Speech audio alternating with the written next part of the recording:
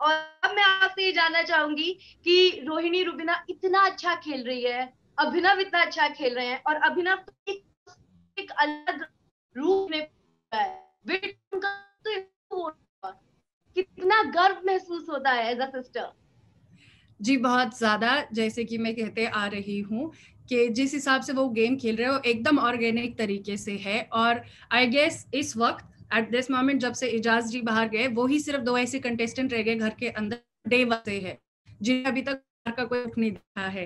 तो I guess कि उन्हें कोई आइडिया ही नहीं है कि बाहर क्या हो रहा है, उनके किस हिसाब से फ़ैन फॉलोइंग और ज़्यादा बढ़ रही है, उनका कितना लोगों को गेम पसंद आ रहा है। तो इस हिसाब से वो अभी तक सेम जैसे आए थे, उसी हिसाब से खेल रहे एकदम ऑर्गेनिक उनके उसमें कोई भी चेंजेस नहीं आए, ना उनके गेम स्टाइल में, ना उनके बोलने के स्टाइल में। तो आई गेस वही उनके लिए प्लस हो चुका है इस वक्त। मम्मी रिएक्शन होती है रुबीना को मैंने लाइव फ़ीड में देखा है बोलते हुए कि मैं मम्माज गलू मम्मी मुझे दिन में तीन चार बार कॉल करती है और उनका रूल है कि फ़ोन उठा ज़रूर लेना मेरा। हाँ जी हाँ जी हाँ जी। वो बात तो है ही क्योंकि मम्मी कहती है कि आ, या तो मेरा कॉल उठा लो या तुम कॉल कर दो। में एक ही ऑप्शन है। और इन्फॉर्मेशन देना बहुत ज़रूरी है, कौन कब क्या कर रहा है? क्योंकि मेरे इसमें टाइम डिफरेंस आ जाता है तो मेरे इस पे सिर्फ़ दो कॉल्स है, बाकी जो छोटे वाली और बड़े वाली है, उनके तीन से चार कॉल जैसे आपका लंच ब्रेकफास्ट डिनर वैसे उनके कॉल फिक्स्ड है आप देखिए जैसे वो घर में है जी जी। एकदम वैसी है और मेरे ख्याल से वही चीज़ लोगों को अभी घर के अंदर के लोगों को समझने में परेशानी हो रही है कि कोई इस तरह से कैसे हो सकता है क्योंकि जिस हिसाब से मुझे लगता है वहाँ पे लोगों ने अपने एक्चुअल पर्सनालिटी पे एक थोड़ा सा कवर रखा हुआ है। रूबी ने और जीजू ने इतना कोई कवर नहीं रखा है क्योंकि जितना उन बिग बॉस का पता होगा बिग बॉस में जाने से पहले उतना ही हमें भी पता मतलब बहुत कम नॉलेज उसमें क्या एक्चुअली होता है और कैसे चाहिए। तो आई गेस उन्होंने कहीं पे भी उस चीज़ को किसी भी तरीके से कवर नहीं किया है। तो जैसी वो वहाँ है, वैसी सेम टू सेम घर में। बस डिफरेंस इतना है कि घर में हर एक चीज़ का मुद्दा नहीं बनता है, हमारे घर में उस घर में हर एक चीज़ का मुद्दा बन जाता है। रुबिना की उस घर के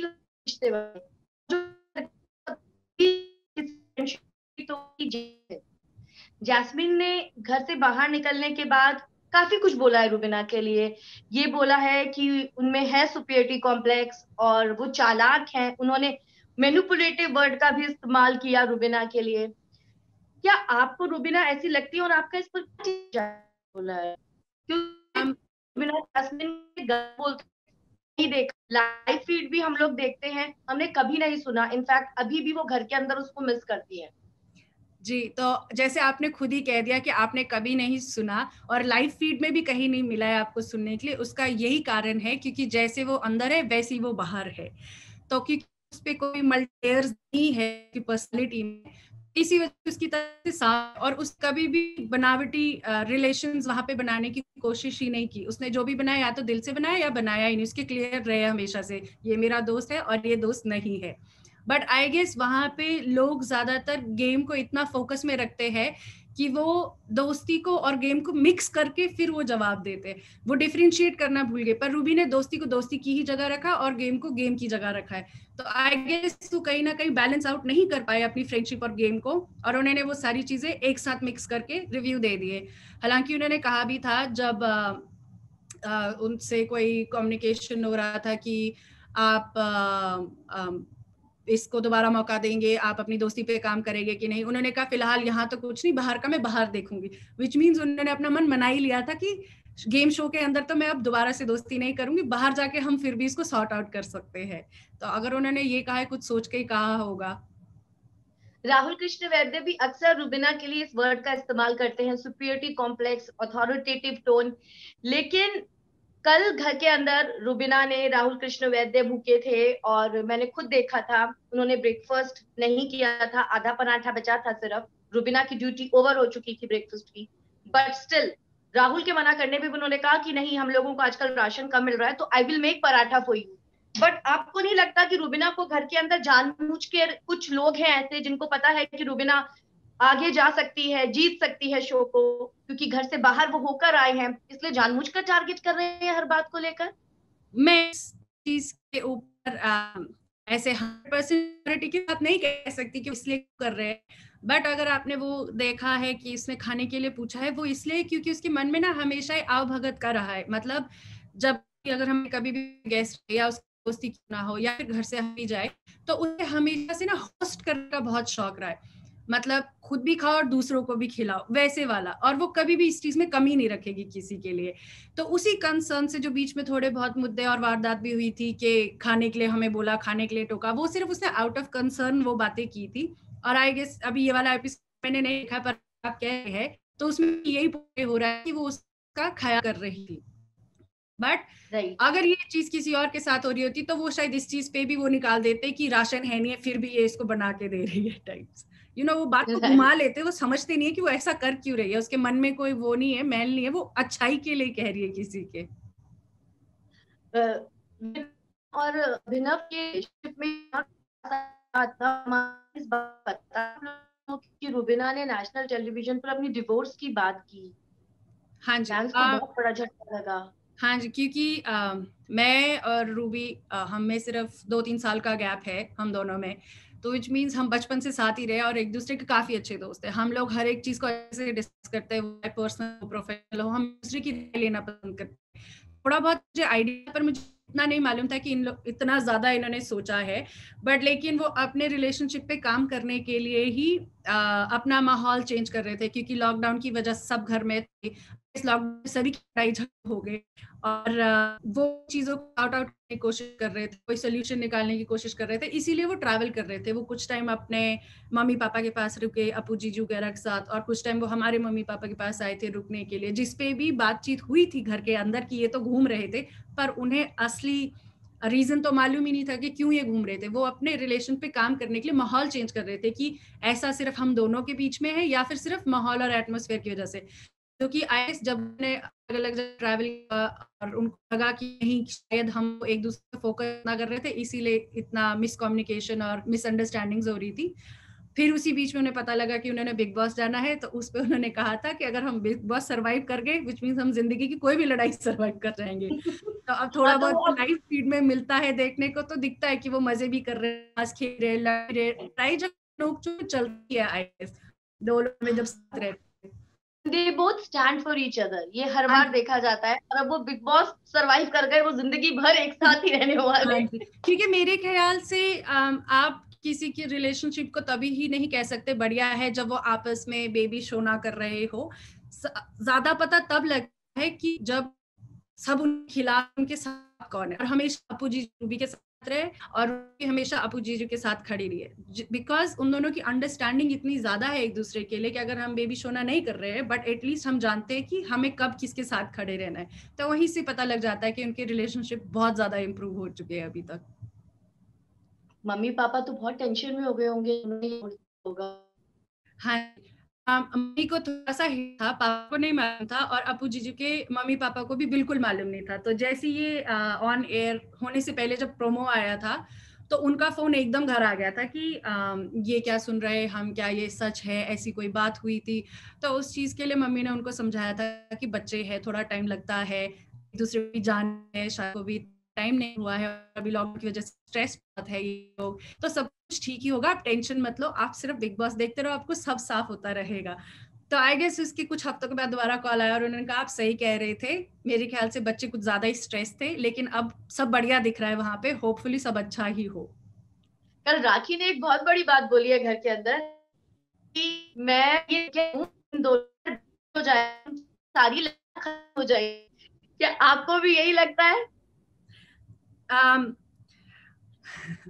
मेरे पॉइंट ऑफ़ व्यू के हिसाब से मे भी कुछ एक रिलेशनशिप में बच्चे एज ज्वाइनिंग पॉइंट होता होगा बट सभी रिलेशनशिप में वो ज़रूरी नहीं है। अगर एक अच्छा हो कुछ टाइम अच्छा हो गए फिर भी बढ़ रहेगा बच्चे के साथ और दिक्कत भी आती रहेगी। तो आई गेस जब तक आपका बेस क्लियर नहीं है आप उसके ऊपर एक और लेयर नहीं डाल सकते हो ये अज्यूम करके कि बच्चा होगा तो ही ठीक होगा। क्या अगर क्या पता ना ठीक हो फिर बच्चा भी है और ठीक भी नहीं हुआ। फिर क्या करोगे? घर के अंदर एक और इंसिडेंट हुआ कविता कौशिक का।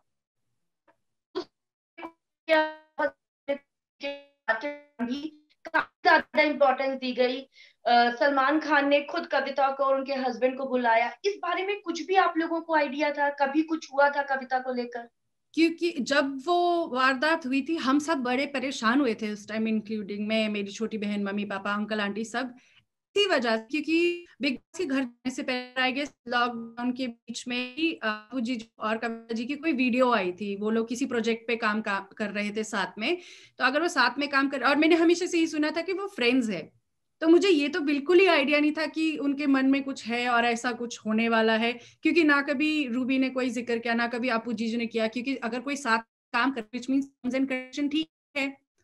अगर कंडीशन सही नहीं होंगे तो कोई साथ में हम क्यों करेगा तो वो हम सब के लिए बहुत बड़ा शौक था। और फिर बाद में पता चला कि खोदा पहाड़ निकली चुईया क्योंकि जितना हमने अपने दिमाग में बिल्डअप कर लिया था ओ माई गॉड इस वजह से ऐसे तो नहीं ओ माई गॉड कुछ गलत तो नहीं हुआ पास। पर ऐसा तो कुछ भी नहीं था। उन्होंने खुद साफ़ मना कर दिया था, जब सलमान जी ने भी उनसे पूछा था कि उन्होंने क्या ऐसे आपको मैसेज कर दिए, आपको पर्सनल मैसेज कर दिए, वो सब। उन्होंने कहा, नहीं, ऐसे तो कुछ भी नहीं थे, पर लेट नाइट थे।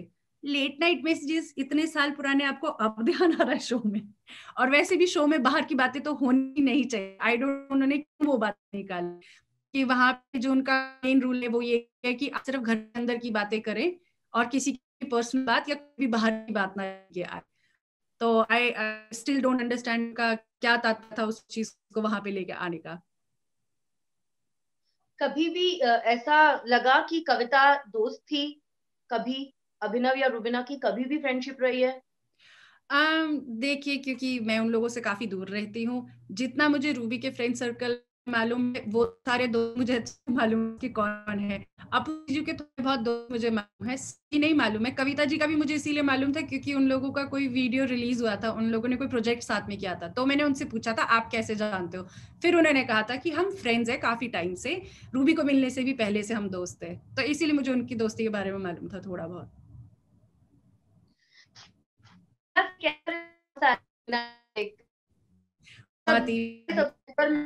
शिमला से जुड़ते हैं वो बहुत तारीफ़ करते हैं रुबिना की हाँ जी, बहुत ही बढ़िया। और जैसे क्योंकि मोस्टली जितनी भी सारी अचीवमेंट्स है रूबी की, वो चाहे फिर स्कूल से कॉलेज तक कॉलेज से मिस शिमला मिस शिमला से छोटी बहू, जितने भी उसका सब रहा है, वहीं से शुरुआत हुई है। हमेशा भी कोई न्यूज़ आती है न्यूज़ पेपर कोई आर्टिकल आता है अगर लोकल न्यूज़ चैनल में आ रहा है तो हमेशा ये कहा जाता था हिमाचल की बेटी। तो विच मीन सभी बहुत ज़्यादा खुश है और सभी उसको अपनी बेटी की तरह देखते हैं। इनफैक्ट कल विकास ने भी लाइव टास्क के दौरान यही कहा था पहाड़ों की रानी हिमाचल की रानी रुबिना मेरे साथ एंटरटेनमेंट टास्क में ज्वाइन कर। तो आई हम बात तो अली गौनी का हमने अलग अलग रूप घर के अंदर देखे हैं। हाल ही में उनकी अभिनव से बहुत ज़्यादा लड़ाई हुई है बहुत ज़्यादा। जहाँ पर उन्होंने ये भी जो आप आज रात के एपिसोड में देखने वाले हैं कि तेरा मुँह तोड़ दूँगा इस तरह की भाषा का इस्तेमाल करा। क्या उम्मीद थी कि इस तरह के इनके रिलेशन जो होंगे क्योंकि अभी ये जी वो आ, मतलब जिस हिसाब से शुरुआत हुई थी, हमें लगा था कि शायद ये एंड तक साथ ही रहेंगे, पर बीच में कोई ना कोई उतराव चढ़ाव आए ही है।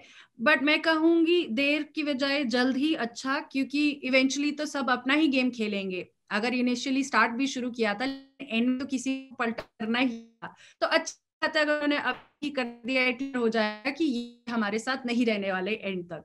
तो अच्छी बात है, अगर पहले ही सबके मतलब वो नज़र आ जाए कि किस हिसाब से किस अंदाज से वो आगे गेम खेलने वाले घर में एक और चीज़ हुई सुदेश बेरी जी। सुदेश बेरी जी का नाम रुबिना टास्क के दौरान भी वो भूल गई और इस पर बाहर बहुत मुद्दा बना था। सुदेश जी हाँ। ने इंटरव्यू भी दिया था और उसके बाद अभी उनका एक रिसेंट इंटरव्यू आया है जिसमें उन्होंने कहा है कि रुबिना तो बहुत अच्छी है और उसके अंदर मुझे नहीं लगता कभी भी सुपेरिटी कॉम्प्लेक्स हो सकता है। सेट्स पर भी वो मेरे साथ थी। यानी कहीं ना कहीं एक पब्लिसिटी स्टंट हो सकता है कि पहले आप ये बोल रहे हैं कि वो मेरा नाम कैसे भूल गई, मेरा नाम कैसे भूल गई, मैं एक सीनियर आर्टिस्ट हूँ। और अब आपको दिख रहा है कि रुबिना को लोग कितना प्यार कर रहे हैं तो आप अपनी स्टेटमेंट को चेंज कर रहे हैं? मैं इन सब चीज़ों कोई और कोई अल्फाज यूज़ नहीं करूँगी। बट हाँ इतना ज़रूर है कि देखिए, नाम की बात, नाम तो अगर मैं आपको डे टू डे लाइफ का भी इंसिडेंट बताऊँ तो मम्मी कभी मुझे रूबी बोल देती है, कभी नैनू को रोजी बोल देती है तो वो नाम तो मम्मी भी मिक्स कर देती है। तो आई गेस उस, इतनी कोई बड़ी बात नहीं थी, और उस सिर्फ़ एक सेकेंड बोली थी, उसके बाद उसने एकदम कहा था, सुदेश बेरी सर, अगर उसके मन में ऐसा ही कुछ होता जिस हिसाब से उसको सुपीरियोरिटी कॉम्प्लेक्स एंड ऑल के बोलते हैं तो वो फिर शायद सर भी नहीं जोड़ती, वो शायद सिर्फ़ नाम ही बोलती, क्योंकि उसको नाम ही बोलने को बोला था। उसने आउट ऑफ़ रिस्पेक्ट इसलिए कहा था कभी कभी भूल जाते हो। आप अगर मुझसे अभी कुछ पूछोगे, हो सकता है मेरे दिमाग में एकदम से आए तो एकदम क्वेश्चन पूछा गया था। बहुत अच्छा लगता सुदेश सर उसको समझ पाते और शायद अगर एपिसोड देखते तो उन्हें और क्लियर होता कि सिचुएशन क्या था। अगर वो सारी चीज़ें देख के फिर वो चीज़ कहते तो मैं बात मान लेती कि रूबी एस जो भी उन्होंने कहा पहले अपने उस पे ट्वीट पे। बट आई गेस उन्होंने शायद जो भी है ट्वीट या इंटरव्यू के बाद देखा होगा एपिसोड तो उन्हें लगा होगा कि नहीं, की गलती नहीं थी ज़्यादा जल्दी रिएक्शन देगा इस वजह शायद अपना स्टेटमेंट चेंज क्योंकि इवेंचुअली उसके साथ काम तो किया ही है इतने लंबे टाइम तक। राइट अभिनव शुक्ला अभिनव जैसे हस्बैंड क्या शुरू पराठे बनाते हैं? देखिए, जीजू बात तो भी के हर काम बटोरते ही है और उन्हें अपना काम करना ऐसी बहुत पसंद है। तो आई गेस और वो है भी एकदम परफेक्ट हस्बैंड टाइप मटेरियल और आप कहो तो कोई आपके लिए कंपनी टाइप मटेरियल बहुत ही अच्छे इंसान है, बहुत ही बढ़िया। ऑफ़ कोर्स मेरे जीजू है, मैं तो तारीफ़ करूँगी ही बट अगर आपको भी कभी मिलने का मौका मिलेगा तो आप भी सेम चीज़ कहोगे, क्योंकि आप उनसे कॉन्वर्सेशन करो। हाँ। क्योंकि इतना टाइम हो चुका है अगर उनके अंदर भी कुछ होता है जिस हिसाब से लोग वहाँ पे बातें करते हैं और जिस हिसाब से टॉर्चर करते हैं उनके मन से भी कुछ ना कुछ अभी तक निकल चुका होता। पर जहाँ पे सौ दिन से ज़्यादा उनको मेंटल टॉर्चर किया जा रहा है फिर भी उनके अंदर से कुछ नहीं निकला विच मीन वो अंदर से इतने क्लियर है। और वो है भी इसीलिए कुछ बाहर नहीं निकलता है। उनके लिए सब पहले से है कोई नहीं। और उनके पास इतना सारा आप उनसे किसी भी टॉपिक पे बात कर लो उनके पास हर एक चीज़ का आंसर होगा। ऐसा बहुत रेयर होगा उनके पास आंसर ना हो। हाँ, वो एक्चुअली हस्बैंड मटेरियल है। उनको देखने में अब अलग मज़ा आता है। अभिनव ने अपने गेम को बहुत बदला है। बहुत मज़ा आ रहा है देखने में एक्चुअली अब अभिनव को। पहले लगता था लेकिन इन टॉप थ्री विद रुबिना हाँ जी।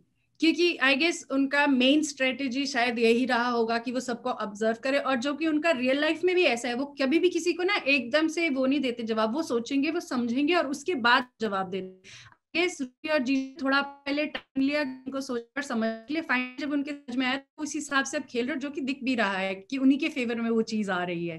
क्योंकि अगर इतना ही वो बुरा कर रहे थे और जिस हिसाब से उन्हें बोरिंग कहा जाता है इतने ही होते तो इतने दिन नहीं निकाल पाते। इतने लोग आए इतने लोग गए और बार बार भी आए पर फिर भी वो निकलते गए। चार स्ट्रॉन्ग कंटेस्टेंट एक बार में नॉमिनेटेड थे। घर के अंदर लोगों को जाएगा। और के किस हिसाब से पासा पल गया वहीं गए और और लोग बाहर जैस्मीन एक बहुत स्ट्रॉन्ग कंटेस्टेंट थी लेकिन अभिनव का जैस्मीन को पीछे छोड़ना अपने आप में बहुत बड़ी बात थी उस समय पे। जी क्योंकि सभी का ये था कि क्योंकि जैसे जिस तरह से कहा जाता है कि अगर ये दोनों साथ में नॉमिनेट होएँगे तो पता लगेगा कि किसकी गेम स्ट्रांग है किसकी नहीं है। आई गेस वहाँ से काफ़ी लोगों को जवाब मिल गए होंगे कि आप इनको में दो। उनके भी उतने ही फ़ैन फॉलोइंग है, जितने बाकी किसी के है। उनको भी उतना ही पसंद किया जा रहा है इवन दो जीजू और रूबी दोनों के पास, किसी के पास भी पीआर नहीं, क्योंकि ना हमें मालूम था, ना उन्हें मालूम था कि ऐसी भी कोई चीज़ें करनी होती है जब आप शो में जाते हो। तो इसके लिए तो मैं सिर्फ़ और सिर्फ़ उनके सारे फैंस को और सपोर्टर्स को दिल थैंक करती हूँ, बहुत ही ज़्यादा थैंक करती हूँ।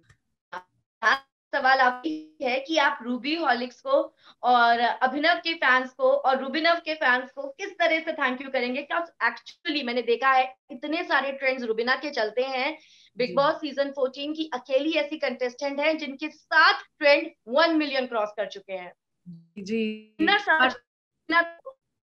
बिना ये पूजा हो रही है। रूबिन के बन रहे हैं रूबी ड्रिंक रूबिना हाँ। के लिए डॉल बन रही है बारबी डॉल जी और अब तो गाना भी बन चुका है जो कि रोज गाना भी बन चुका है। हाँ जी हाँ जी जो उन्होंने निकाला है। तो आई गेस इससे साफ़ पता लगता है कि लोगों को वो लोग कितने पसंद आ रहे हैं और जिसे देख के हमें बहुत ज़्यादा खुशी होती है कि हमारे तो जो घर के है हम तो बनता ही है जिस हिसाब से लोग प्यार दे रहे हैं उन्हें रिस्पेक्ट दे रहे हैं आई विश कि वो जो बिग बॉस के घर के अंदर लोग हैं उन्हें भी वो चीज़ नज़र आती तो उन्हें समझ आता कि वो लोग इतने भी खराब नहीं उन्हें थोड़ा कम परेशान करो। बट सीरियसली उन जितने भी रूबी हॉलिक्स है, आपने जैसे कहा अभिनव जीजू को जो सपोर्ट कर रहे हैं और रूबीनव जो है, उन सब के लिए बहुत बहुत बहुत बड़े वाला थैंक यू और इस तरह से वो सपोर्ट करते हैं कि अब शायद सिर्फ़ चार ही हफ़्ते बचते हैं। ऐसे ना हो कि अभी तक इतना सॉलिड सपोर्ट किया और लास्ट चार हफ्तों में लेजी हो जाए। लेजी बिल्कुल नहीं होना है, सिर्फ़ चार ही हफ़्ते बचते हैं। तो करते रहे और जब तक वो ट्रॉफी जीत के बाहर ना आए तब तक इसी तरह से सपोर्ट करते रहे फिर सब एक बहुत बड़ा सेलिब्रेशन करेंगे। और एक ग्रैंड पार्टी हो एक ग्रैंड सेलिब्रेशन हो क्योंकि फैंस भी बहुत खुश होंगे। Thank you so much Rohini for talking to me and मैं आपसे लगातार कांटेक्ट में रहूँगी। अब हम बात करेंगे जब रुबिना जीत जाएँगी। जी फॉर श्योर sure. और मैं चाहूँगी कि ऐसा हो और उस मैं आप सबसे पहले बात करूँगी। Thank you. Thank you. Bye bye. You have a good day. Okay. Bye. You too. Good night.